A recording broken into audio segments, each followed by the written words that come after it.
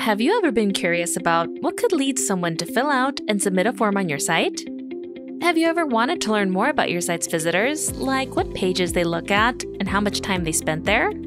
Learning more about your users and how they interact with your website, like which pages they visited and how much time they spent there, can help you better craft your site's content, which can help you collect more leads and convert them into paying customers.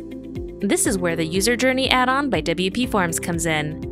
The User Journey add on allows you to see the path that users take on their journey through your site before they get around to filling out and submitting a form.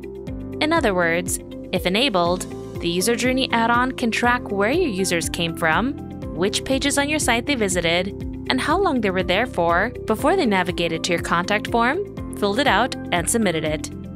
The best part about the User Journey add on is that it's completely plug and play and ready right out of the box. Once the data has been submitted, you can simply go to the Entries page, click on any one of your submissions, and find the data.